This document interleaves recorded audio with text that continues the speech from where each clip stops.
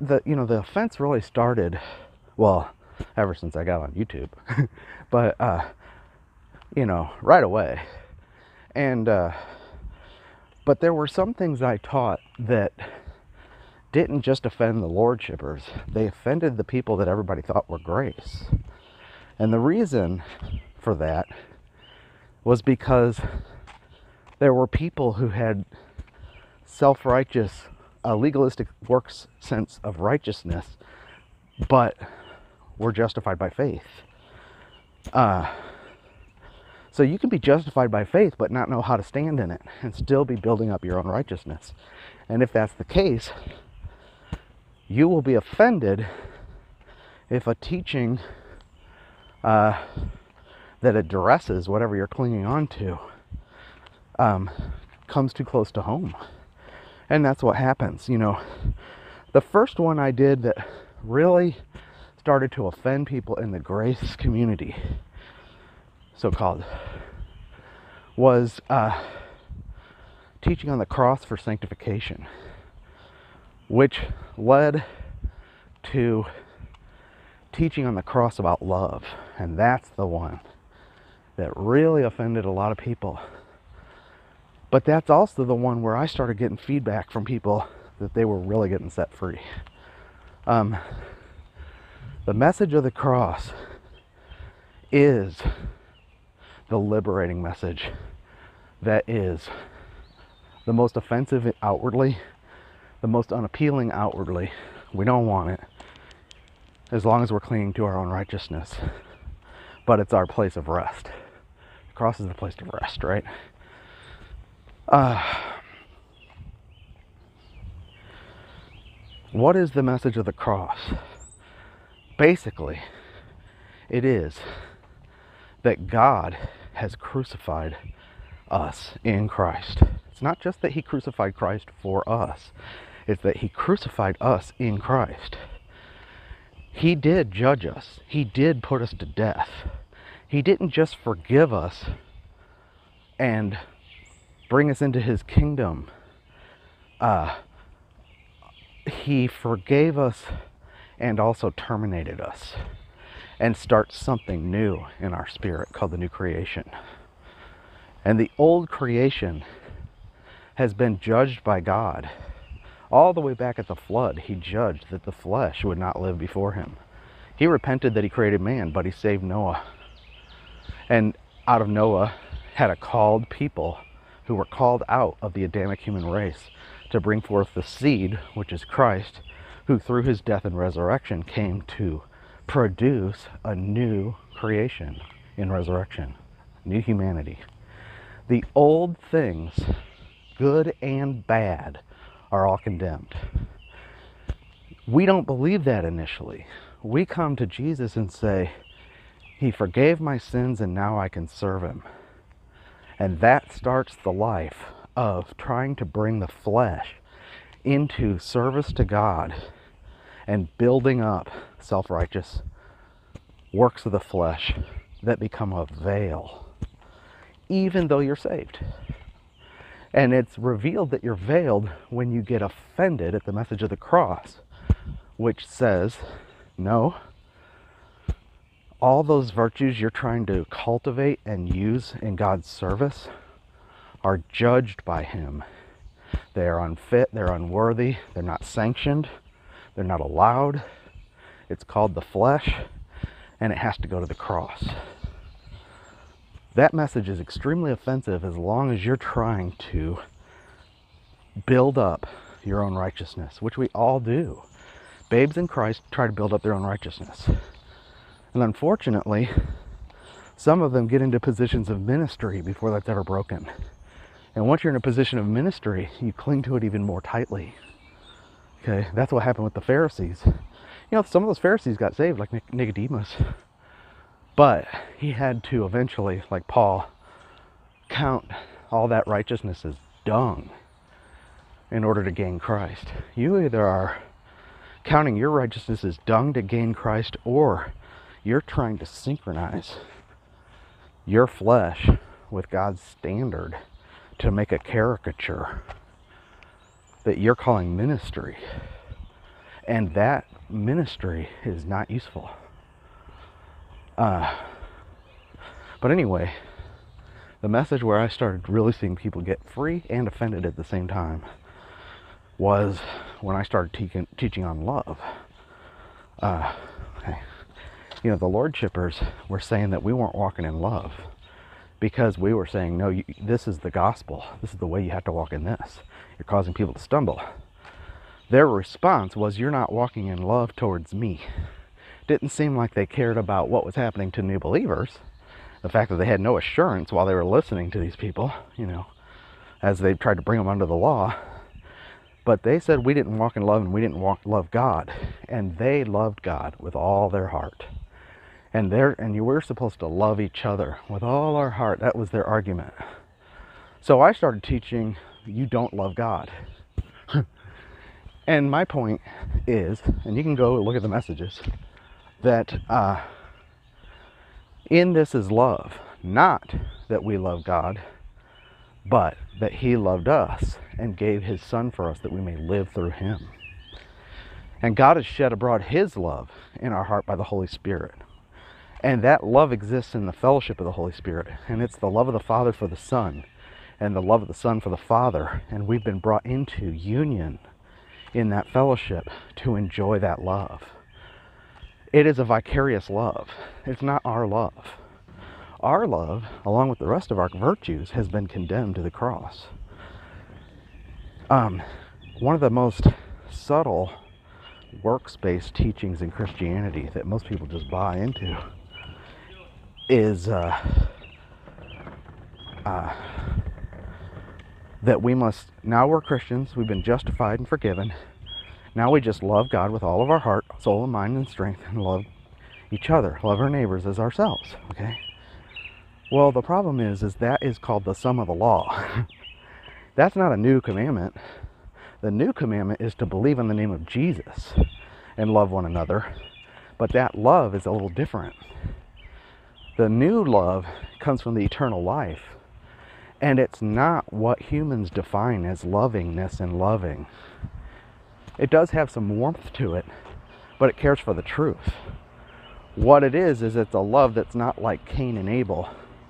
Cain hated his brother because Abel insisted only on the blood as his righteousness and offered the firstling of the flock. So his deeds were righteous and Abel didn't, or Cain didn't just hate Abel, he hated that kind of righteousness. That is the hatred in First John that he says we can't have and be saved. So when he's talking about loving, he's actually talking about how to recognize the children of God by their testimony. Someone who has the blood of Christ is born of God and is my brother. But someone who goes in the way of Cain will say, No, he's not. He doesn't have enough fruit. He's not working like I am. so when it comes to love, it's all in that context. Uh, but the thing is, is the Cain, the way of Cain is to think that you love God and you work real hard to bring forth from the cursed ground fruit to satisfy God when God's condemned the ground. God told them it was cursed. They had to toil as a result of the curse.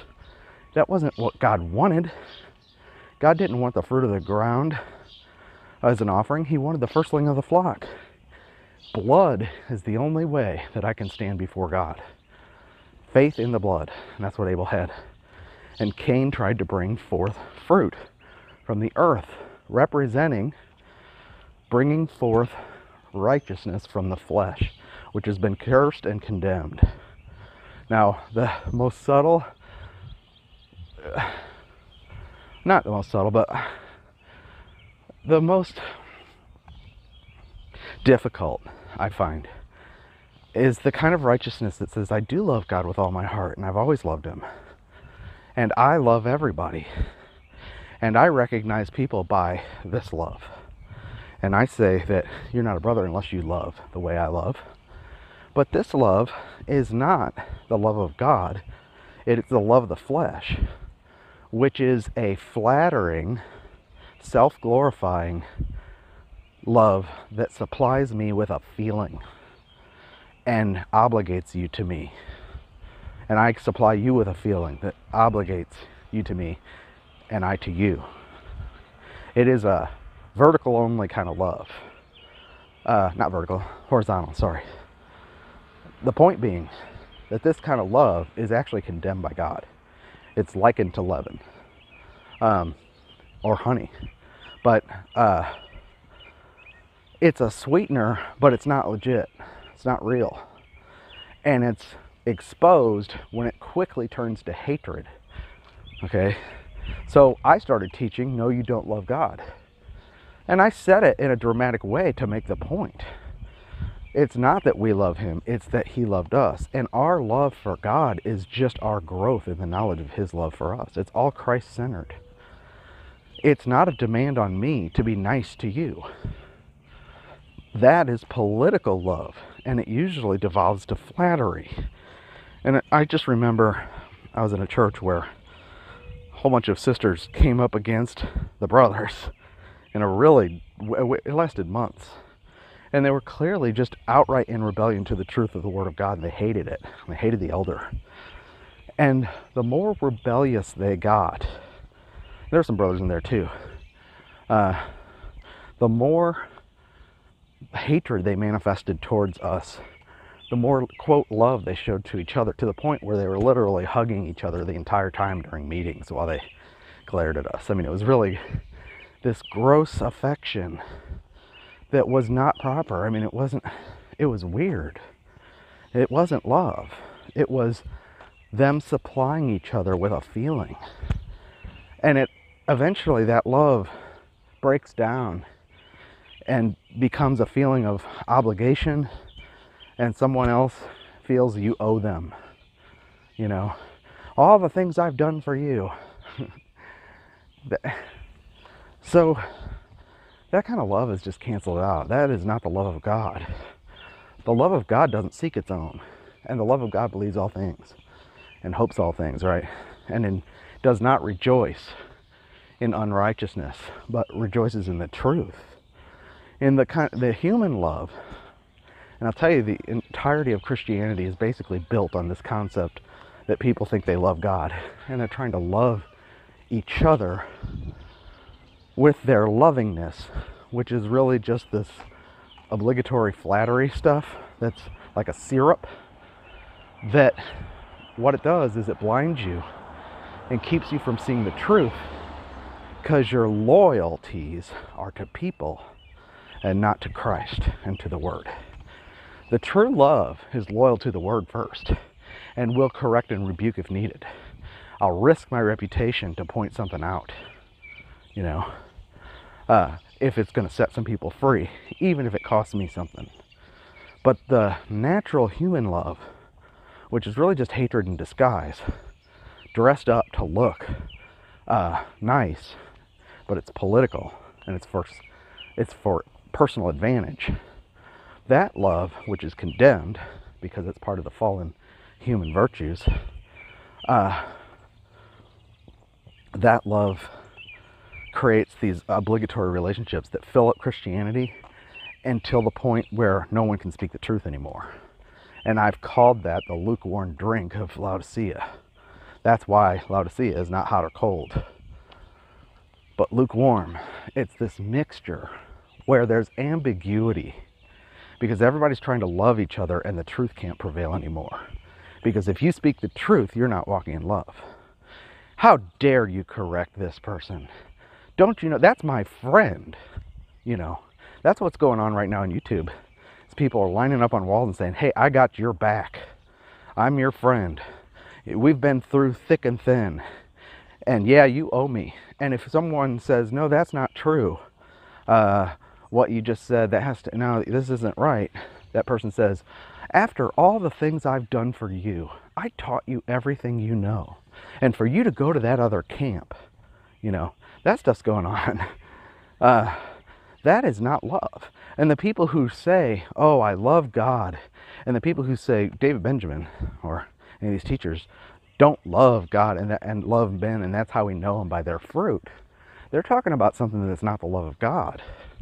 They're talking about the flesh, but they don't realize it. And so when I was addressing this in those love teachings, people got really offended.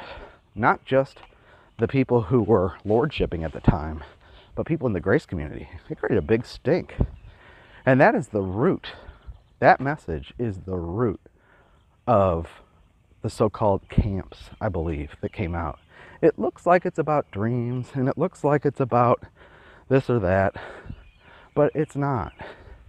The root of it is that our righteousness is condemned. Okay, our virtue is condemned to the cross. We're not here to cultivate our virtue. We're here to rest in the finished work of Christ and acknowledge my love is dead, my flesh is dead, there's no demand on it. It is no longer to be I, but Christ who lives in me. And people get offended at that message, plain and simple. You know, Paul is the one who brought that message to the church, and the entire church rejected it. Uh, that's what happened eventually to the churches in Asia, is they departed from Paul's ministry. He had already said in Timothy, you know, all the churches in Asia departed from me. And that doesn't mean they weren't churches or that they weren't saved, but they had a thick veil. And that's why Ephesus is said to have lost her first love. When you get to Revelation, you see those seven churches, those are all in Asia. That means all those churches pretty much had departed from Paul's ministry.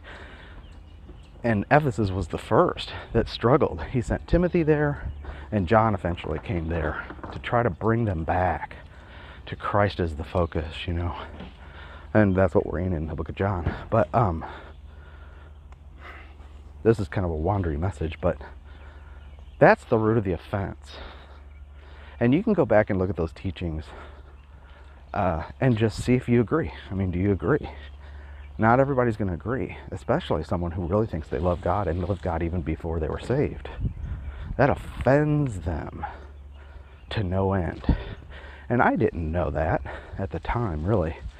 I mean, I knew some of the grace people were offended, but I had my eyes on the Lordshippers that were backloading works and then accusing us of not loving God and, and saying that we don't keep the commandments and all this stuff. And I realized they don't know what the new commandment is. Love God with all your heart has been replaced with believe Jesus Christ. Why? Because He's our substitute, even in love for God. The love we have for God is called the spirit of sonship that's been shed abroad in our heart. Because we're sons, God sent forth the spirit of His Son into our hearts, crying, Abba, Father. Our love is vicarious. It's not our love, it's Christ's love.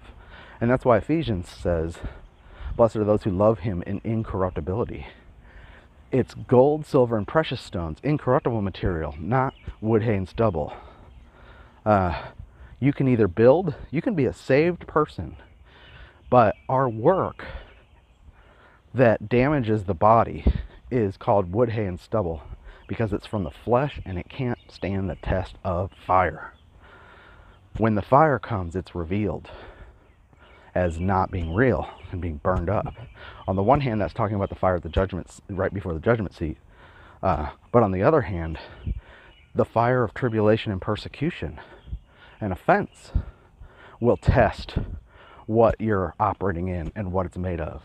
Can it endure? The love of God shed abroad in our hearts by the Holy Spirit is the one thing that has endured my entire Christian life.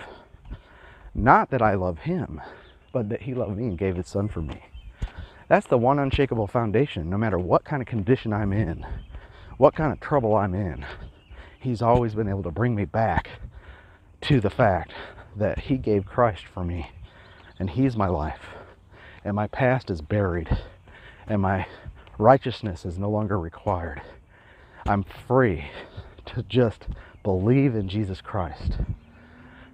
And that causes his spirit to bear witness in me that uh, God's record is true concerning his son and that I'm a child of God and an heir together with Christ.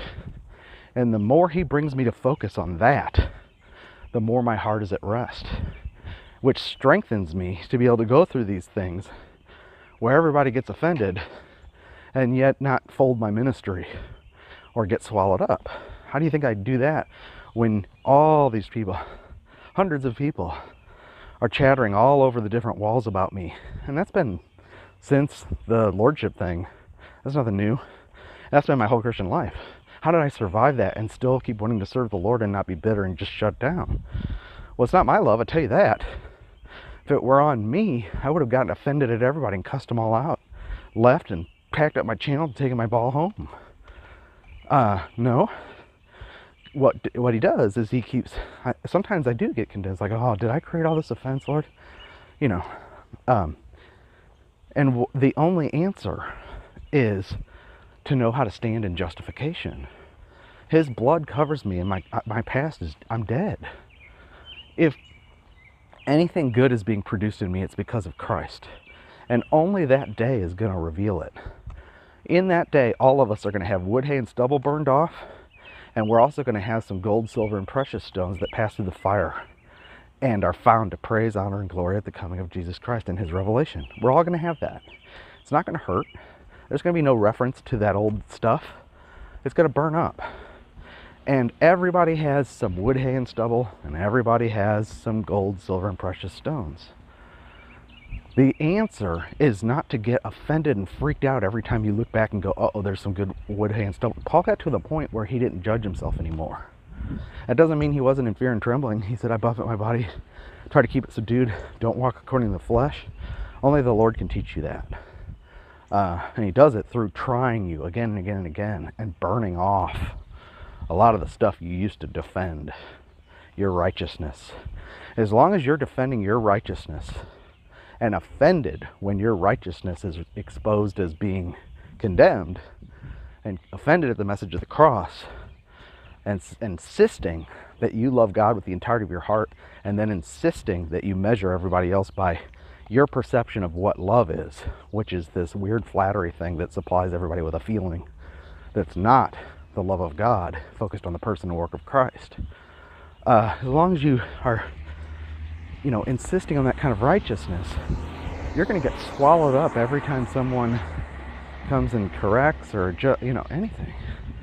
Uh, so that to me is really the uh, the uh, root of the issue um, that I see was the start of people uh, getting offended.